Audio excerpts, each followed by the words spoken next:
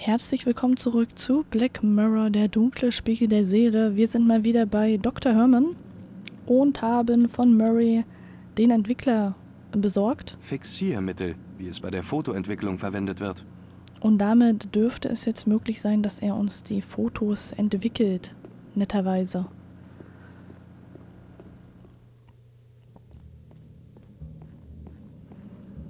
So, mal gucken, ob das jetzt auch alles so klappt. Ich habe eine Frage an Sie, Dr. Herman. Schießen Sie los, Gordon. Ich habe den Entwickler für Sie. Können Sie jetzt meinen Film entwickeln? Warum nicht? Aber kommen Sie später wieder. Ich muss meine Arbeit erledigen, bevor ich die Bilder entwickeln kann. Was ist an diesem Film so wichtig, dass Sie damit zu mir kommen? Das werden Sie selbst sehen, Doktor. Entweder Sie sind wichtig oder auch völlig nutzlos. Okay. Gut, dann gehen wir wieder. Dann haben wir hier soweit alles erledigt. Und ich denke mal, wir sollten dann zur Kirche gehen. Können wir auch direkt hier die Karte benutzen. Und gucken mal, ob wir jetzt reinkommen. Mal sehen. Oder ob wir da immer noch nicht rein können. Weil dann wird es schon ein bisschen schwierig. Dann wüsste ich jetzt auch gar nicht, was wir jetzt als erstes mal machen könnten noch. Aber das wird sich dann schon zeigen. Die Kirche ist abgeschlossen. Immer noch. Das ist ja blöd.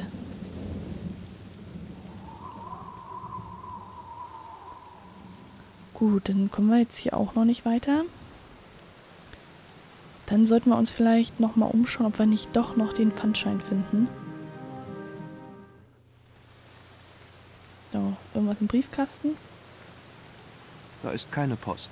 Okay. Dann gehen wir mal rein. Vielleicht. Ich meine, wir haben ja nicht direkt irgendwie ein Zimmer von Henry. Oder ob er den wirklich bei sich trägt, das wäre ja natürlich. Äh, dann müssten wir erstmal Dr. Herman irgendwie ablenken.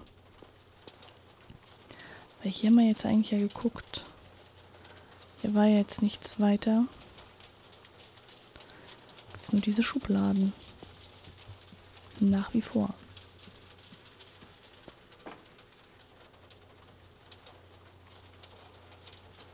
Aber hier können wir nichts weiter rausnehmen. Und in der anderen war ja auch gar nichts von Interesse für uns.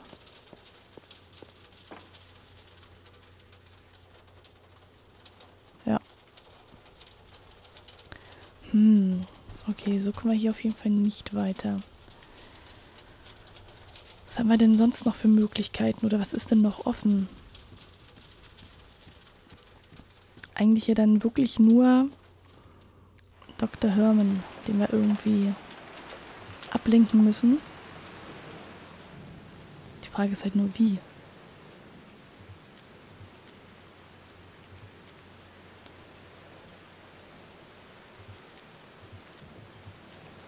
Unseren Sachen, glaube ich, kommen wir da nicht großartig weiter. Hm. Da müsste ich mir auf jeden Fall mal was überlegen, was wir da tun könnten. So, mit den Leuten hier haben wir ja eigentlich auch gesprochen.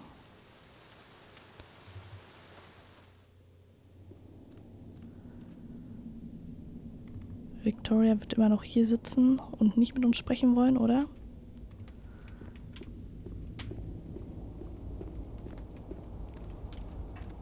Ich lasse sie jetzt allein. Okay, in der Bibliothek ist wahrscheinlich auch nichts.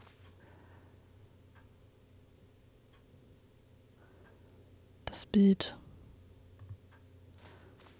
Das hat man ja schon eigentlich. Jeremy Gordon, Williams Vater. Okay, jetzt hat sich das auch wieder erledigt.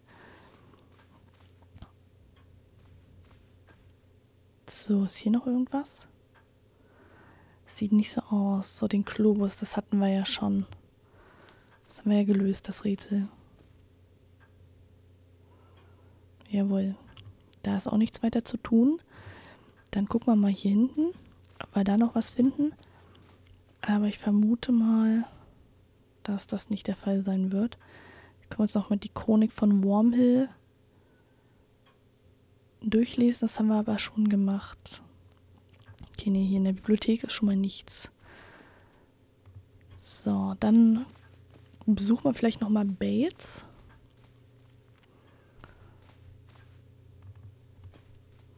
Der ist bestimmt immer noch in der, äh, äh, im, im, im Keller. So, hier ist ja auch nichts, nur die Bilder von. So, und hier können wir nur in den Garten und hier ist auch nichts weiter. Nö. Gut, dann ja, gehen wir jetzt einfach nochmal so ein paar Stellen ab und gucken mal, ob uns das irgendwie weiterhilft. Aber er ist definitiv immer noch hier unten und schleift die Messer.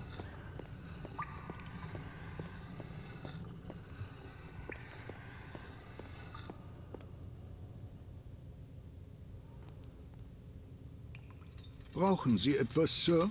Mm, nein, eigentlich nicht. Ich komme nur gerade zufällig vorbei.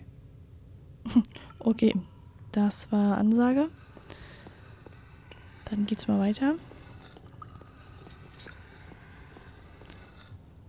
Ja, mit Robert wüsste ich jetzt auch nicht, was wir da großartig zu besprechen hätten, um ehrlich zu sein. Und mit Morris sind wir eigentlich auch alles durchgegangen. Also ich glaube, hier im Schloss wird wahrscheinlich nichts sein, was wir jetzt noch großartig tun könnten.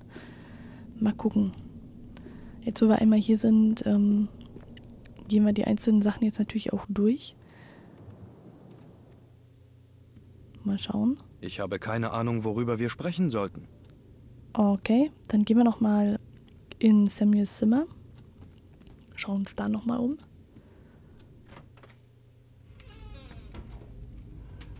Ob wir hier noch irgendwas finden? Also nur die Schubladen auch, aber da ist ja auch nichts weiter drin.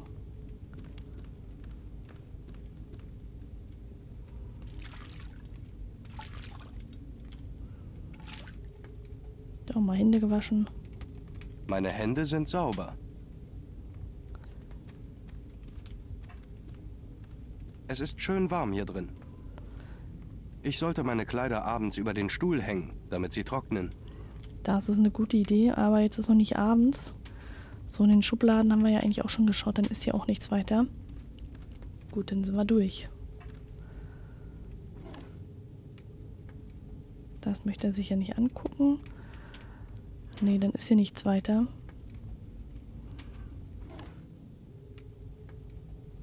Okay. Dann. Ups, nee, das wollte ich nicht so. Wir machen das mal so. Gehen mal direkt nach draußen. Oh, das ist ja ganz weit draußen. Okay. Wieder zu Morris. Gehen und ihn nochmal befragen oder beziehungsweise gucken, ob wir noch irgendwas mit ihm besprechen können. Und wenn das nicht der Fall ist, dann müssen wir wahrscheinlich uns jetzt sich erstmal um Dr. Herman irgendwie kümmern.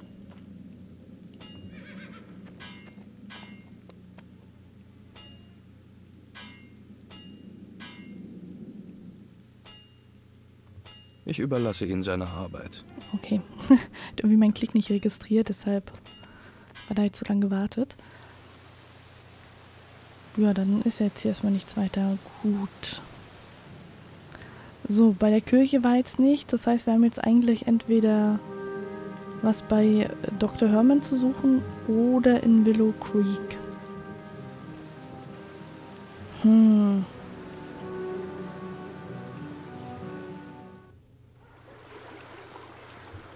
Mal gucken, ob wir jetzt hier noch irgendwas erreichen können. Eigentlich so viele Leute sind ja jetzt hier auch nicht, mit denen man sprechen kann. Und mit denen, mit denen man sprechen kann, haben wir schon geredet eigentlich. So, gibt es hier noch irgendwas zu melden? Ich brauche im Moment nichts von ihm. Im Augenblick habe ich ihm nichts zu sagen. Okay. Kann ich Sie sprechen? Jetzt nicht. Kommen Sie später, wenn das Spiel zu Ende ist. Okay, was ist mit dir, Harry?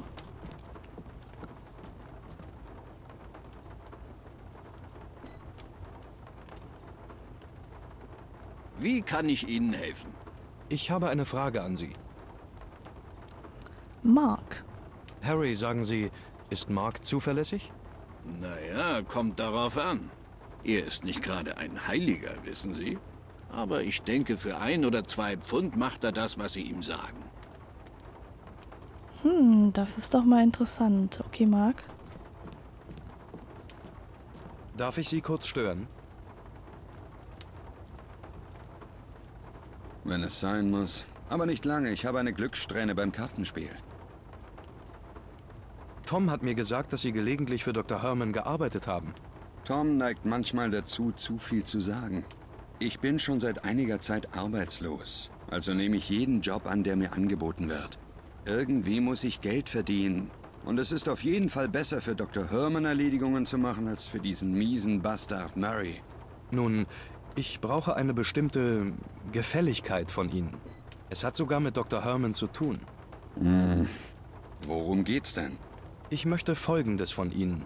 Ich höre. Ich möchte, dass Sie um eine bestimmte Zeit zu ihm gehen und ihn für ein paar Minuten beschäftigen. Klingeln Sie an der Tür und warten Sie, bis er nach oben kommt. Reden Sie über, was Sie wollen, aber halten Sie ihn so lange auf, wie es geht. Tja, offen gesagt, mir gefällt dieser Plan nicht. Das sieht nicht gerade ehrlich aus, nicht wahr? Außerdem, wenn Herman erfahren würde, dass ich an einer Verschwörung gegen ihn beteiligt war, würde er mich nie wieder beschäftigen. Nee, da suchen Sie sich lieber einen anderen aus. Ach, ich bezahle dich gut dafür, ne? Hören Sie, ich erwarte nicht, dass Sie das umsonst machen. Und das soll mich überraschen? Wie viel zahlt Ihnen Dr. Herman? Kommt drauf an, was er von mir will. Nein, Sie verstehen nicht. Ich meine, was hat er Ihnen maximal bezahlt? Sechs Pfund am Tag, plus Verpflegung. Ich gebe Ihnen zehn. Das ist nicht schlecht für ein paar Minuten, oder? Zehn? Tja, das Geld wäre schön, aber sehen Sie, wenigstens habe ich bei Dr. Herman einen sicheren Job. Nein, ich kann es nicht machen. Na gut. Ich gebe Ihnen 20. Das ist mein letztes Wort. 20? Mensch, so viel Geld hatte ich schon ewig nicht mehr in der Tasche. 20 Pfund auf die Hand und die Sache ist geritzt. Zehn jetzt und zehn später. Hm. Okay. Um wie viel Uhr soll ich auftauchen? Etwa eine Viertelstunde, nachdem ich den Pub verlasse. Seien Sie pünktlich, sonst bekommen Sie nichts. Keine Sorge, ich bin pünktlich da. Ich bin schnell zum Leichenschauhaus gegangen, um Mark zuvorzukommen. Hoffentlich kommt er pünktlich zur vereinbarten Zeit.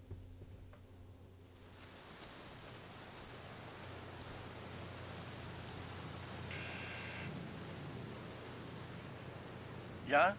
Samuel Gordon, bitte lassen Sie mich herein, Doktor. Ich muss mit Ihnen sprechen. Ja, kommen Sie herein. Ich bin unten in der Leichenhalle.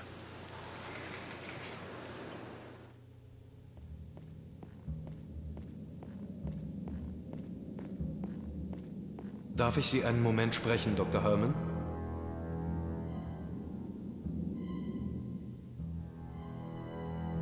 Ja, aber wie gesagt, ich weiß nichts Neues.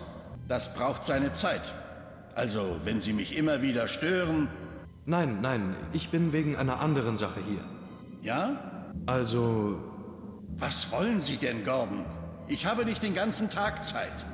Wo zum Teufel steckt dieser Mark? Haben Sie etwas gesagt? Nein, sehen Sie, ich habe nur... Wer ist denn das jetzt, verdammt?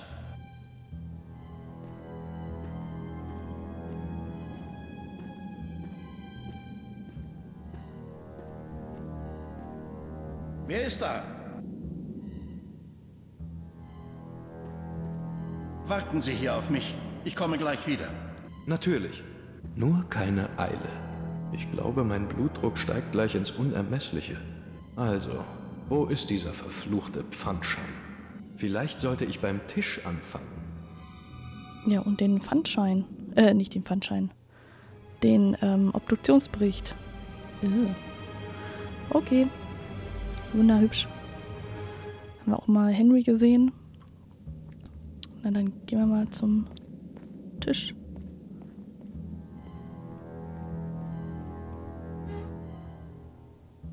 Ist hier irgendwas drin? Hm, ein Stück Modelliermasse, um Abdrücke zu machen. Das könnte sich als nützlich erweisen.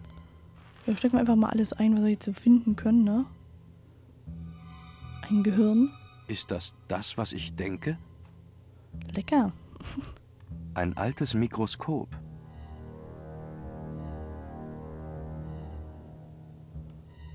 So. Viele Dinge, aber nichts, was ich gebrauchen kann. Okay, dann da ist mal wieder raus. Sind noch mehr Schubladen. Oder? Nur die eine? Diese Schachtel ist mit Henrys Namen beschriftet. Henrys Pfandschein. Ausgezeichnet. Ich habe sie sorgfältig untersucht. Sie enthält nichts Wichtiges mehr. Okay. Daraus brauche ich sonst nichts. So. Aber wir wollten doch noch den Obduktionsbericht.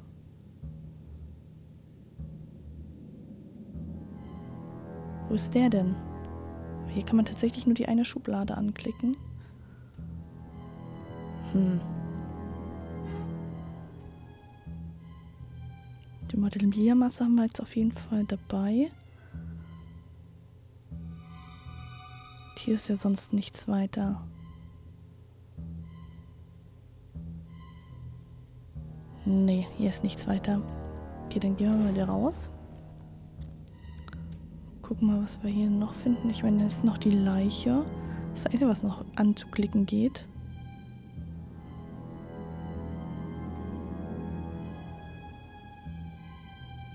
Hm.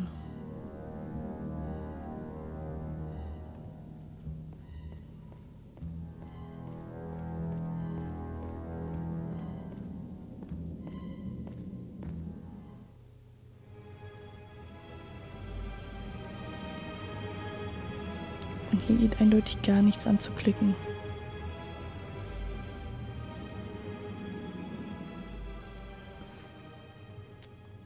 Können da ja auch nichts weiter machen. Henrys Pfandschein.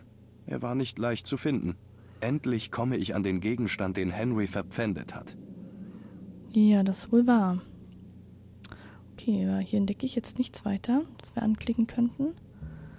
Äh, sind wir dann fertig? Ich gehe noch nicht. Ich muss mehr herausfinden. Okay. Dann habe ich irgendwo was übersehen. Aber es gehen die doch anzu... Nee, die, die läuft, läuft halt nur dahin.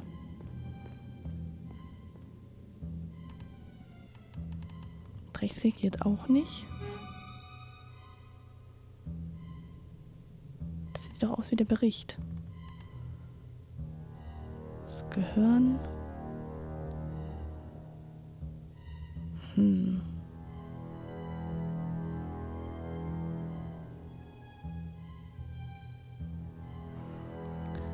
Was könnte sich hier noch verbergen? Irgendwo.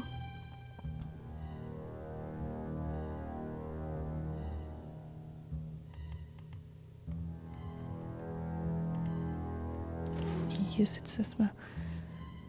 Ein Stück Modelliermasse. Um Abdrücke zu machen, würde ich sagen. Ja, das stimmt wohl. Aber was soll ich denn damit abdrücken? Oder was äh, kann ich denn hier sonst noch finden? Schlüssel. Na bitte.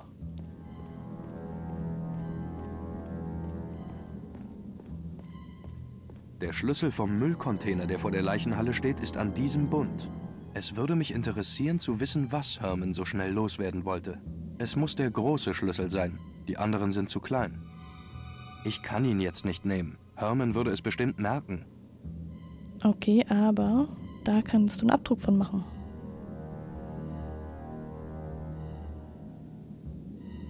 Ich habe einen Abdruck des Schlüssels in der Modelliermasse gemacht. Herman scheint zurückzukommen. Ich höre ihn auf der Treppe. Okay, das war's also.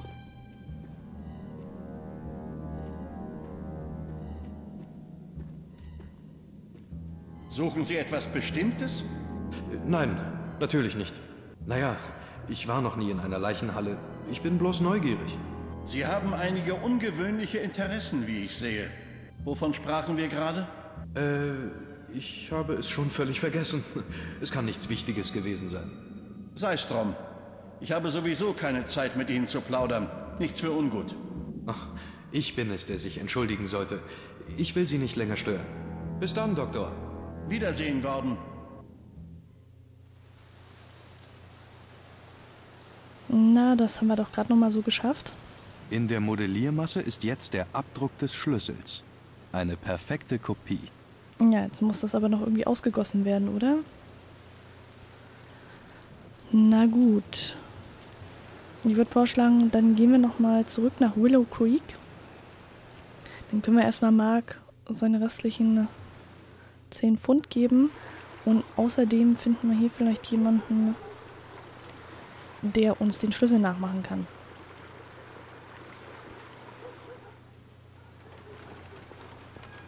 Mal sehen, hoffen wir mal, dass Mark jetzt hier ist.